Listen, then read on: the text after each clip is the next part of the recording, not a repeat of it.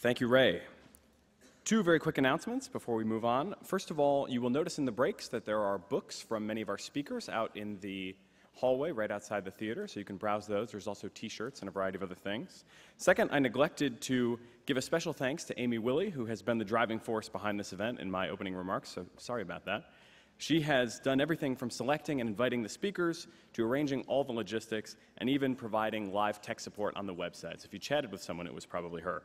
So thank you very much to Amy for making this the best Singularity Summit yet.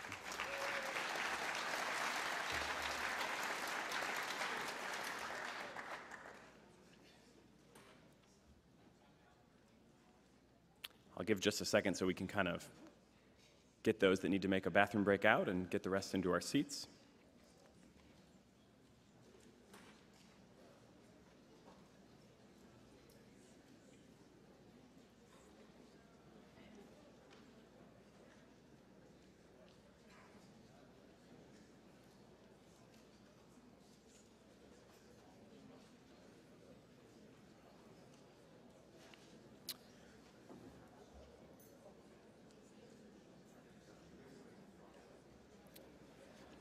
Our next speaker is Dr. Stephen Badylak.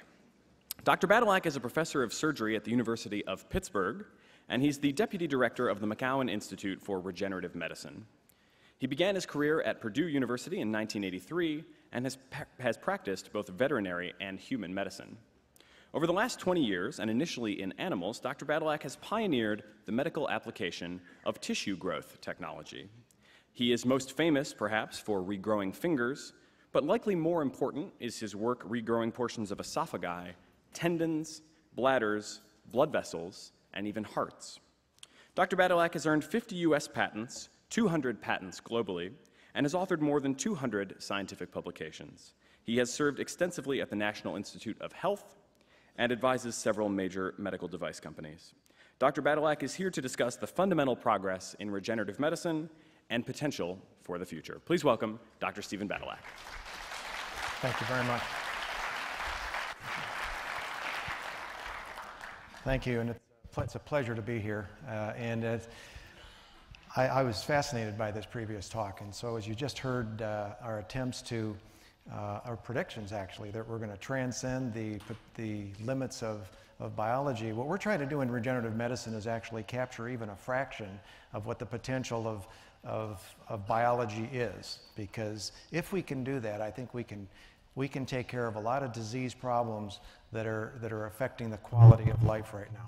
And uh, one thing that you'd like to keep in mind as uh, you listen to the next 20, 25 minutes or so is that what we're talking about here is, is not necessarily increasing quantity of life, but quality of life. Now, I think they both, they both go together because we, we solve certain problems. But uh, let me, um, let's see, I should probably walk, stand over here, is what I should do. The, uh, if we can advance these slides, maybe.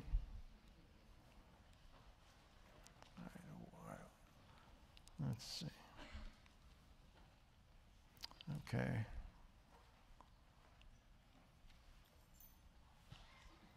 All right, let's see. Where should I be aiming this to advance this?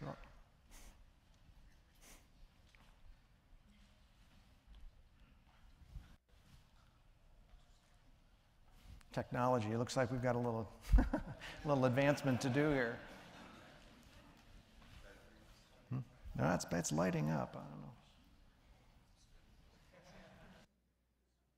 Oh, there we go.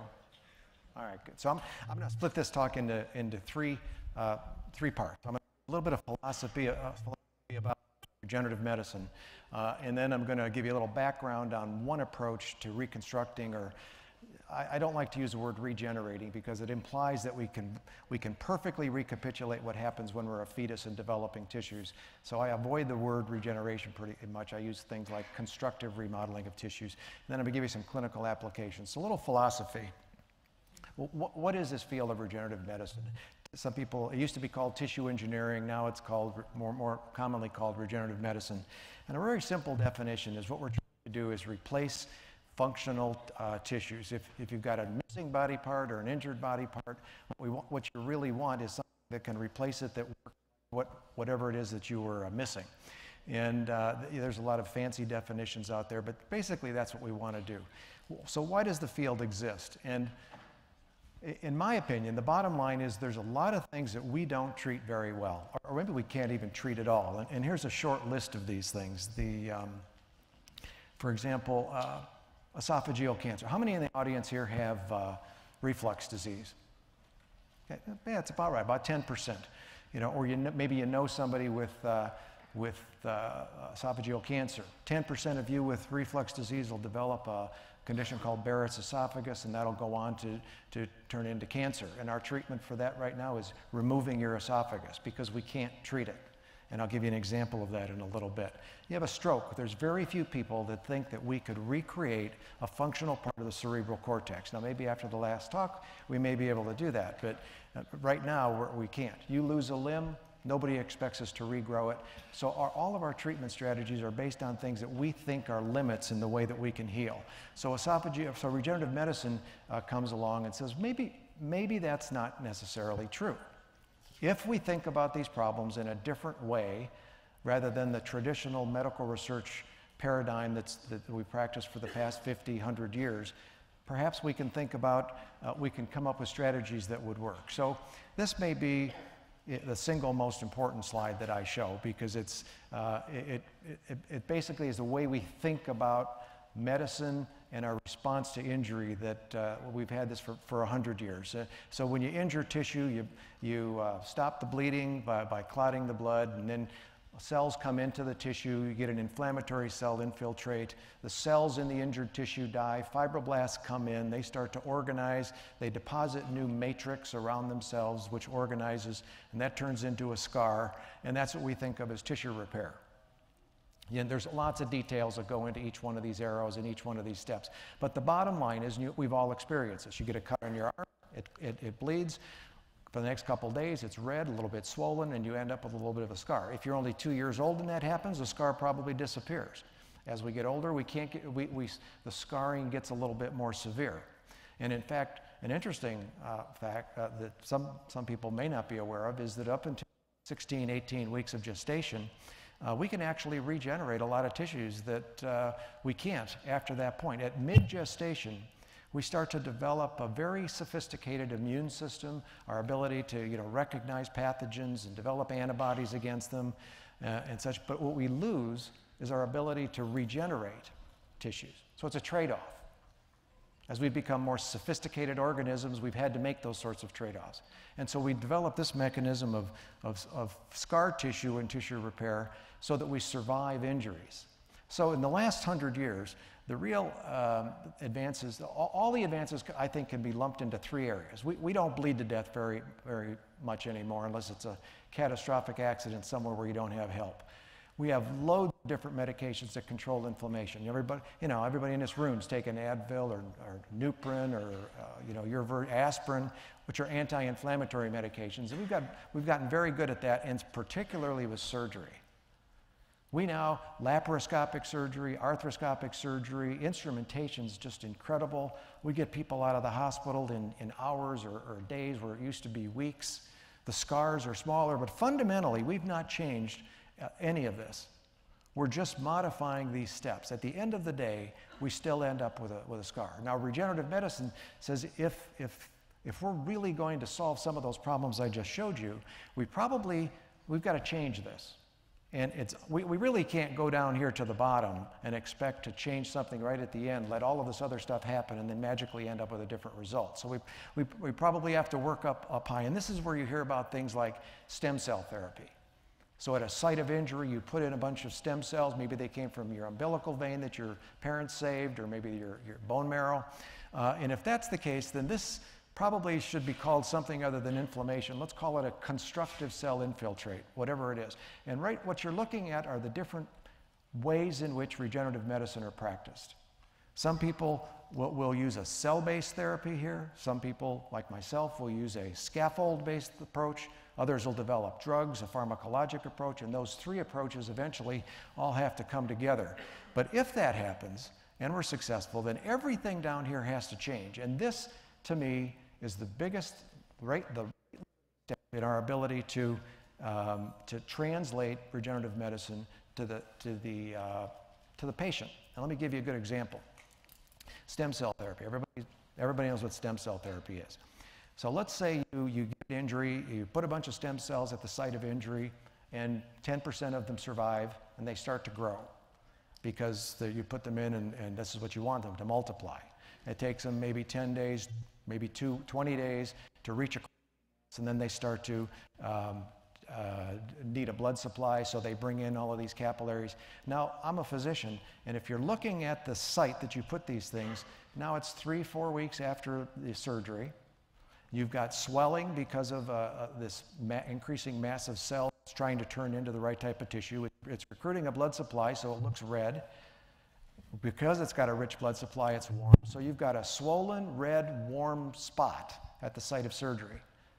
Now, you, you come into the doctor's office, what's he going to think?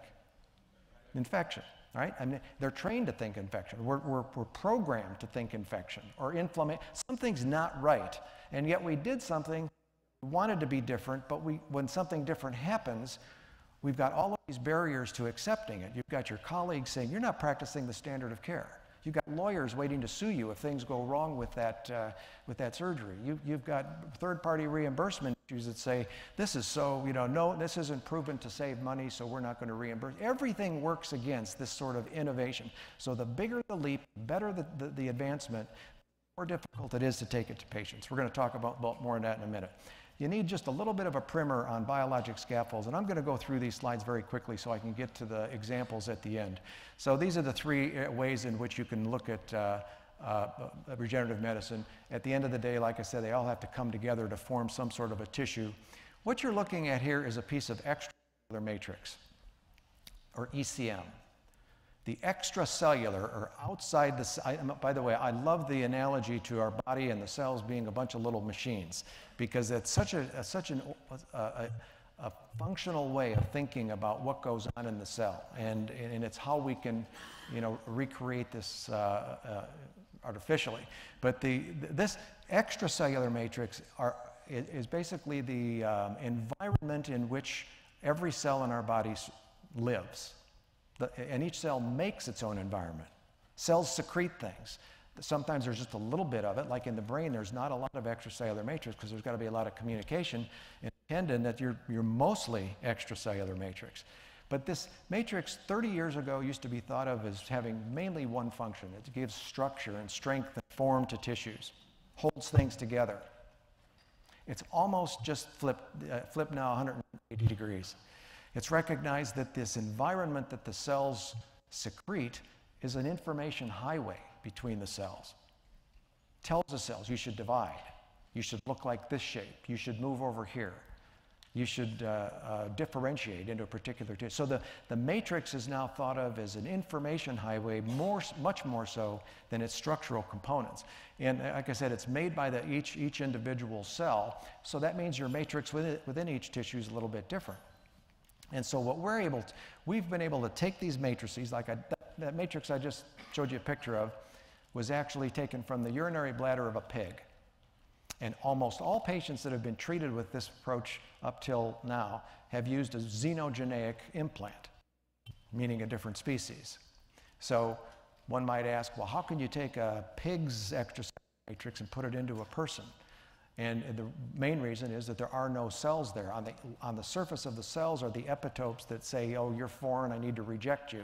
But the matrix is so important that it's been, been um, uh, served through evolution to an extent that when a pig's matrix is put into a human and probably a dinosaur or a mouse or a rat or, or whatever species, we don't recognize it as foreign. We, let me restate that. We recognize it as foreign, but it sends good signals rather than danger signals. And so that's an important, important concept to keep in mind. Nature, Mother Nature, one way to think about the matrix is a, is a medical device that's gone through hundreds of millions of years of R&D, the trial and error. And so we've got like the perfect scaffold now in which all of these cells can survive. And we learn, we've learned a lot about how they work. They, they're temporary. If we put them in as a device, all we want them to do is change the way that that body heals at that spot where we put it. We're not interested in changing the brain if the injury's in the toe and, and, or even the other arm if it's, or distal arm if it's a proximal injury. So we put it at the site. We also know that when it degrades, it releases all of this information that it's stored up. And much of the information doesn't even exist as information until you get degradation of the scaffold, which is really cool because time it's released is when the, when, the when the scaffold gets degraded. In other words, at a time of injury. We get this inflammatory cell response that comes in, releases a bunch of enzymes, degrades. Now, all of a sudden, a bunch of signals start getting released from this matrix. We modulate the, the immune response so that it becomes friendly rather than uh, destructive. And the, and the main thing, I'm going to give you just a quick example, is this is, a, this is actually a form of stem cell therapy. Uh, it, it, it's, we, it's endogenous stem cell therapy rather than exogenous. We're not collecting stem cells and putting them at a site. We're recruiting them. This, think of it as a homing device. Now, let me uh, see if I can get this movie to run. I'm not sure I can do it. Yeah, here we go.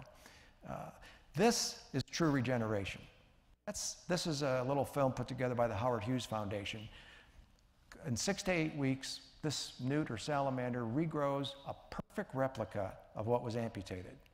In fact, if you amputate at the elbow, that's all it grows back is everything from the elbow out. Amputated at the shoulder, grows from the shoulder out.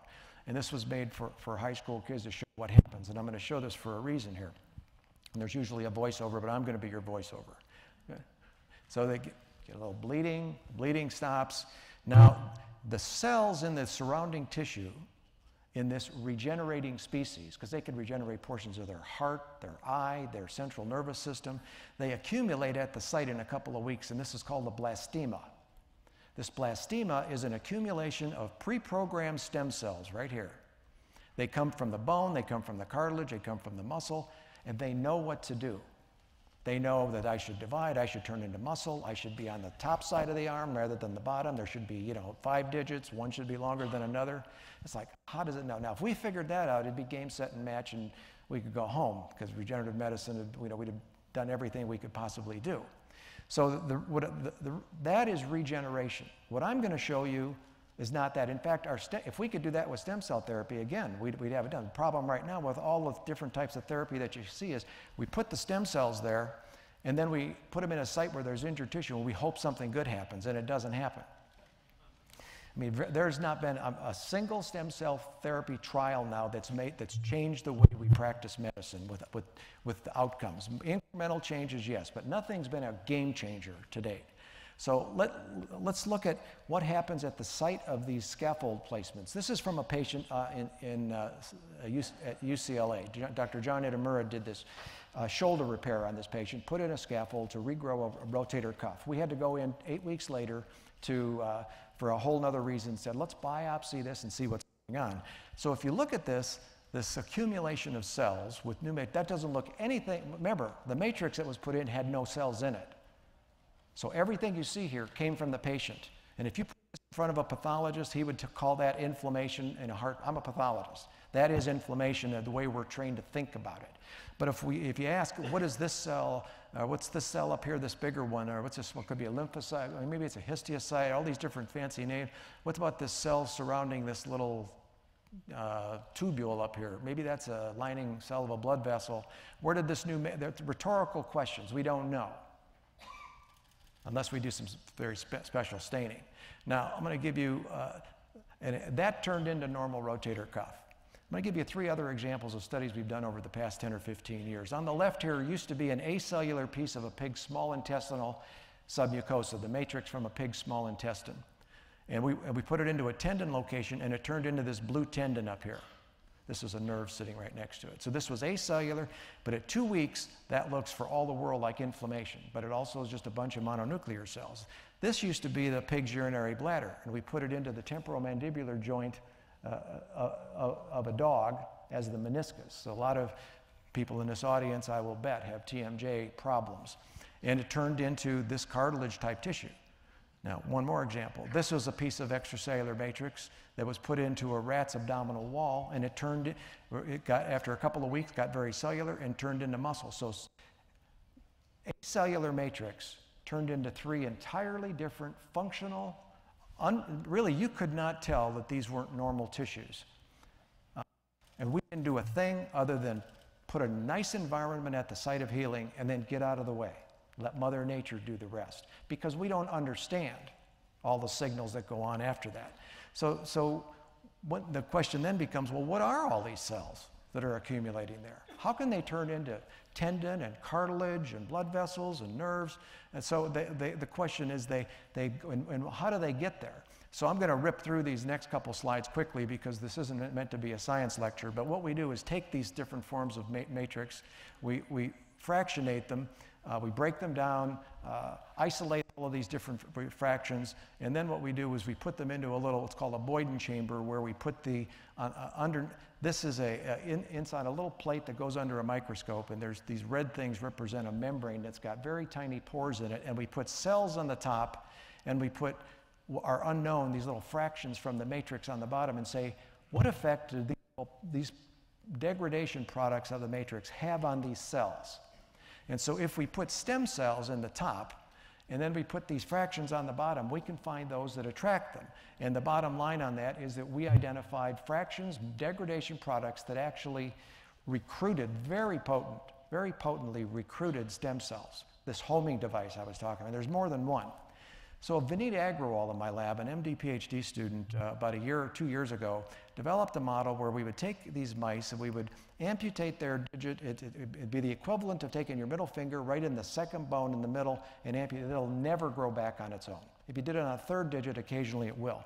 And then what we did was this is what happens if you don't do anything. Mice are really good at healing things. So in 14 days, you get complete scarring right here where you, I don't know if you can see this red dot, but it's got a very thick skin over the top, scar tissue right in here, and here's the amputated bone. Now, if you inject this homing device into that site of injury, this is what that looks like. Loads of cells here. And then if you look at them very close, they look a lot like those cells in those examples I just showed you. So then what, what Vineet did was he he would isolate, uh, it's going to be very difficult for you to see this accumulation of cells until I get over to here. He took these cells, he dissociated them, isolated them, and then he put them in a culture plate and he, and he let them grow up. He said, so remember what we're talking about. The distal tip of a mouse, you know, other than seeing the mouse in your mouse trap, you know, that you occasionally catch, that's, that's small. That's a tiny little spot. Then he took these cells and he, he put them in different types of media and said, Can any of the cells there turn into nerve tissue? Because there's very little nervous tissue out there, and sure enough, they can. Then he said, Oh, if I take that same cell, and these are special markers that show that they're really nerve cells, let's take that same cell population, put it into a media that tends to want to form fat tissue. Are there any cells there that can form fat tissue?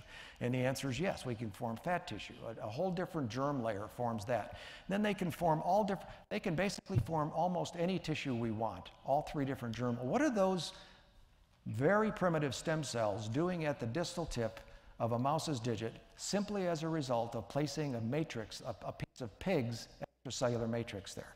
And what he went on to do is identify that they truly are stem cells. We then took and said, let's start looking at real life problems that people have we don't treat very well. Now, so this is an, an experiment that we completed about two years ago. This is called, this is, and we're doing this under the funding from the Defense Department for the soldiers that are coming back that have been subject to roadside bombs where they've lost huge portions of their, of their limb or their, or their muscle. The, the I'm sorry? You want me to stand over here? Okay, put the microphone. I know I'm cutting out a little bit. I'm getting instructions here. Technology. Maybe we are ahead of technology. I'm not sure. We'll see.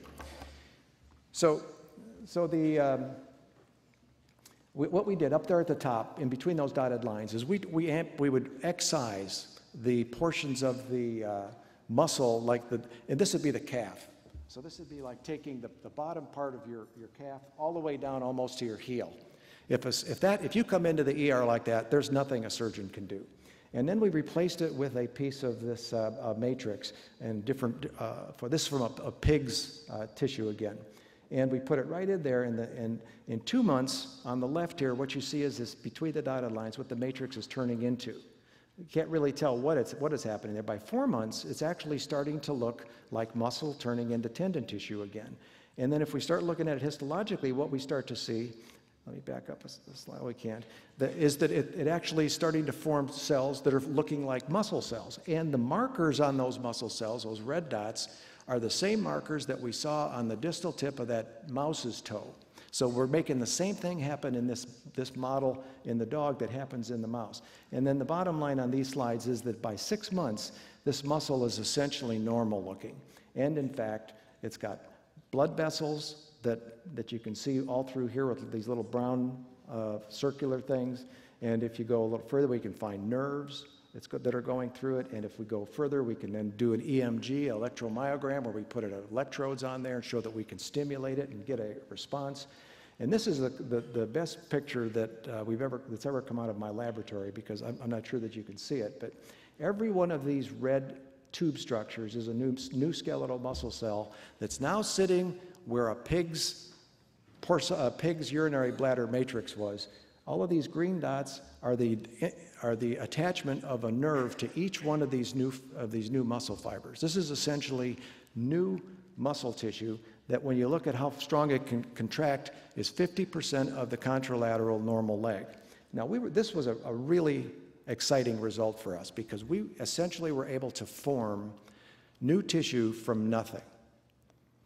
This is, the significance here is that we can de novo generate new skeletal muscle tissue.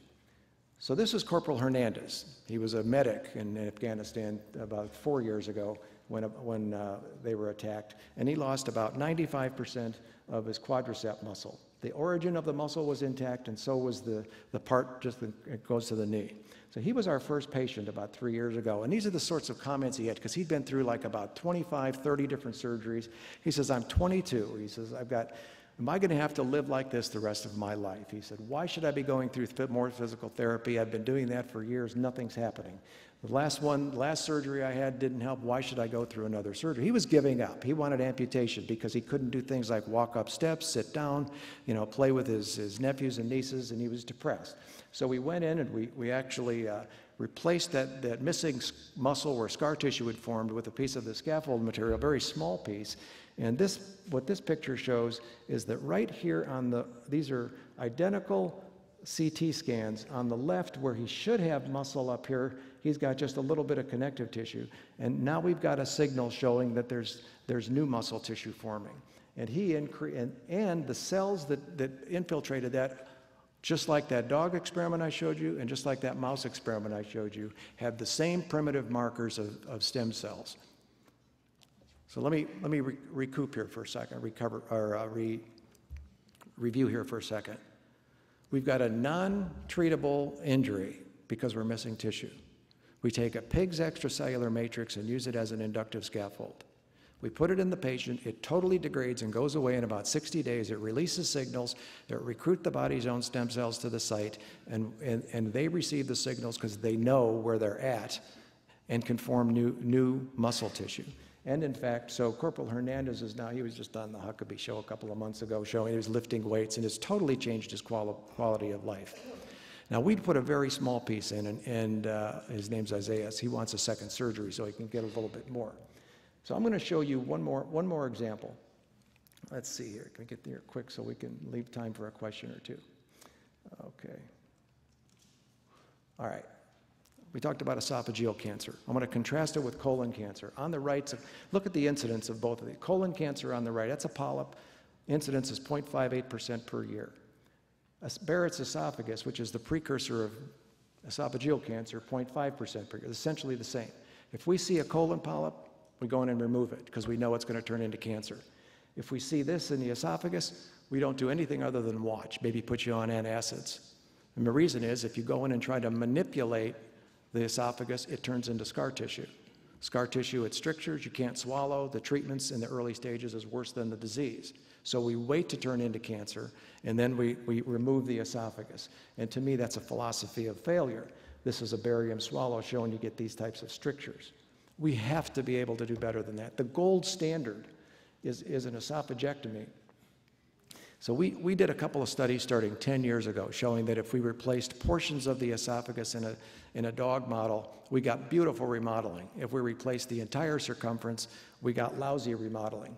And, and we would end up with this sort of stricture all of the time. And we said, no, what's the difference? And so we had to combine two of those modalities. We had to put the scaffold right adjacent to, to the skeletal muscle that's in the neck so that the muscle could serve as the source of cells for this, for this therapy. And so then what we did uh, was this, this study in which we were able to show, again, in, a, in, an animal experiment, this is a dog where the head would be at the left and the tail of the dog would be at the right. This is the windpipe up here above. This blue line represents the, the portion of the esophagus that was removed in its entirety, like you would do in a, in a, in a patient. And there's nothing that can be done there other than to drag your stomach up through your chest and attach it to what's left in the, in the throat. And we formed this type of tissue. Now, this is not perfectly normal esophagus, but we've got muscle down here at the bottom, and you can see it in red on the left, and we've got an epithelium on the top, that, but it's not scar tissue, and, the, and the, the animal can swallow. So this is a human patient that has to go through an esophagectomy. Look at the statistics on the left. 7 to 20% mortality rate with this surgery. 50% of the patients have a problem, bleeding, stricture, infection total reduction in the quality of life because of the stomach is now in your throat. And this is our best we can do. And it's the most rapidly growing cancer in the United States. This is why regenerative medicine exists. So we took this same philosophy of changing the default mechanism of healing by placing a scaffold, and Dr. Blair Jobe did this, all through an endoscope. Stick an endoscope down the throat, and what he did then was Right at where the esophagus meets the stomach, he made a complete 360 degree incision down through the mucosa, did the same thing up top, tunneled down at 2, 6, and 10 o'clock, and then over on the right here, if we can get that movie to run. Yep. What you'll see is him stripping out the entire lining of the esophagus. It's kind of like taking your sock off inside out. Now, that would stricture one, there isn't a surgeon in the country that would do that therapeutically because it will stricture every single time. And you can imagine what, he, what this patient, you know, what this might feel like. He's, he is under anesthesia, and you know, I, was, and I don't know, you know, whether it was, you know, the bit about consciousness or not. I hope I'm not conscious. So if we if we then look at what was taken out, this is what was removed from that patient. Now you got some, now you can tell how advanced the cancer was we go in, take a piece of the scaffold, turn it into a tube, and basically wallpaper the inside of the esophagus. And we put a little stent in there just to hold it in place for a couple of days and then take it out. And what you're looking at here are biopsies from this patient. This is after the, taking out that mucosa. Here's the stent. On the right is the healing after two weeks, five weeks, 10 months, 13 months. And these patients are now two and three years out. And this is what uh, uh, the, the biopsies look like uh, that's just showing you that cancerous tissue had turned into normal tissue. And this is uh, Dr. Jobe and, and the patient the day after surgery. So it goes from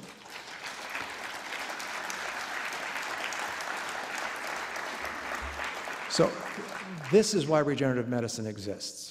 And this is where, where, this bringing together of the minds of the way we think, of trying to reach the potential of what Mother Nature wants to do, but we can't do. All we need to do is provide the right environment if we know what that is. We don't even understand how all of this works yet. But I, I, this is where we're going with regenerative medicine, and we're, we're um, very excited about the potential. You know, I personally believe we're going to be able to treat stroke patients and recreate portions of functional thinking brain. And I don't think it's going to be, you know, 20, 30 years from now. I think it's within our lifetimes. Thank you very much. Appreciate it. Great job. Uh, do you want to take a couple questions? Yeah, okay, you can use this microphone. Okay, we've got time for one or maybe two questions. Very briefly, a quick announcement. Uh, the reason we had to pull Dr. Badylak to the side here was someone is using a wireless mic, probably a member of the press, and it's interfering with one that we have here on stage. So if you're using a wireless mic in the auditorium here, go to the press room and get your frequency checked and make sure that you're not the one. Um, let's take two quick questions. Maybe here right in front. Do you have the, uh, the mic here? Hello, my name is Daniel Arthur. I'm part of uh, number of things. Uh, what I'm wanting, PhoneApp.com, Long Live Research Institute, a bunch of other stuff, too many things. Getting back to your talk specifically, I saw you on 60 Minutes, and this is a great follow-on to this. Why is, notwithstanding what he's done with the esophageal uh, uh, patients there, Why is this not becoming a standard of care more rapidly? I'm still not hearing this persuasively permeating the medical community. I, I saw your stuff years ago on TV. Why is this not standard of care? Or are we just going to be having mayhem upon our patients for a while good- longer? Good question. And, and the reason is we learned that, remember that biopsy I showed you with the shoulder with all of the problems there? So when that was, that patient was done in the year 2000. In the next two years, that, be, that became so popular in orthopedics that everybody was starting to just put in scaffolds, whether they were good scaffolds, bad scaffolds, not knowing what to expect, panicking when the patients would come back with swelling and redness, even though the patients were fine. About half, not half, maybe 30% of the devices actually got explanted. And it's because the surgeons did not understand the technology, and you were seeing things that they were trained to say that's a problem. So what we want to do is avoid that with this particular stage. So we're doing this in a very prospective, controlled way. You know, Blair's, Blair Jobe's, there's uh, eight patients that now are two to three years out. N- Totally normal, swallowing normal, no cancer. They, they all had cancer, they all are normal now. I mean, uh, terrific results. Outpatient therapy almost, overnight. And um, what we're doing now is bringing in other teams and training other surgeons to say, you don't just stick this stuff in here. Here's what you have to do to understand how it works, and here's what you should expect. Here's what stents to put in. That way, we'll avoid everybody putting them in with 20% of the people having bad outcomes, standing up at podiums like this and saying that doesn't work, you know, it's all ho- you know, hocus pocus. And so it, it's, a, it's unfortunate, and we have to educate the FDA. They, don't, they do not understand how this works. And in fact, many very good scaffolds that could be used right now are held up because, the FDA, because of the regulations right now by the FDA. So that's a short answer to your question. No, we don't know how the FDA works, that's for sure. Yeah, that's, it. it's changing every day. We've got one more here on the uh, aisle. What's your speculation Oh, come on. on how the cell knows where it is to become where, because you're putting it into a pig matrix, but somehow it knows it's in a boron. Right, exactly. The question is, what's speculation as to how the cells know what it is? Now, for applications like this, we can use t- t- two parts to the question. We can use a pig's intestine and put it in the esophagus, and it knows it should be, you know, recruit those types of cells. And However, we're now getting into what's called whole organ engineering, where we will decellularize a whole heart, a whole liver, a kidney, repopulate it, and grow it. And you know that needs a tissue-specific matrix. You have to have a liver matrix to put in to make a liver. Now, the direct answer to your question, though, is those cells that get there that have the potential to turn into lots of different tissue types depend upon signals at that location. So let's look at the orthopedic application, for example. If we did nothing, if we'd have put Isaiah's leg in a cast, like most orthopedic surgeons would, would want to do, say, look, this injury is too severe, we've got to let you heal before we let you start bearing weight. The scaffold would degrade, the cells would accumulate, they wouldn't know what to do because they're not receiving signals saying, I should bear weight, and they go away. Totally against the standard of care for, for rehabilitation. So now, Isaiah, the day after surgery, uh, was, was doing exercise. We did two patients last week with similar problems. The day after surgery, they're, they're doing a non-traditional. So we have to recre- we have to allow the patient to let the environment teach the cells what they're supposed to turn into. It's called the microenvironmental niche conditions. So it's a- an excellent question, though. Thank you all very much for your attention. Dr. Stephen Badylak, thank you very much.